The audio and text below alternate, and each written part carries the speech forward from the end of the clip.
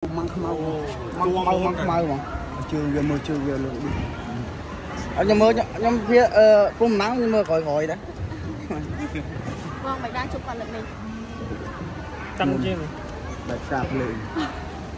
បងខុសពីការប្រកួតស៊ីហ្គេមមិនដែរមកយើងយើងអឺយើងពាក់ទៅអត់ទៅឈឺចាពេលគាត់គាត់គាត់ទៅលេងអស់អស់មកគាត់ខណៈខណៈមិនមិនមិនអាបងទាំងអស់លុះរាប់ម៉ងរាប់ម៉ងរាប់ ស្វិតស្វាញបែបនេះឬក៏បងគិតថាអាចខានលើសពីស៊ីហ្គេមមកបន្តិចអូយលេងវាណា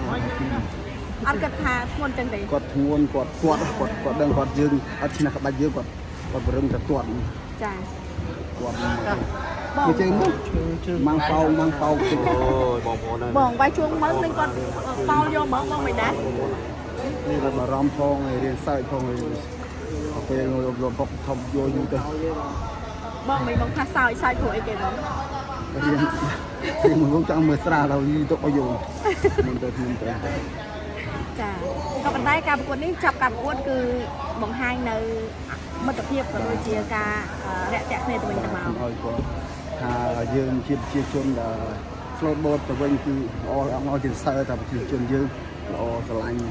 ចេះគោរពគ្នាទៅវិញទៅមកណាចាទោះចាជាតិចទៀតសាសដល់ទៅដល់ក៏យើងនៅតែគោរពស្រឡាញ់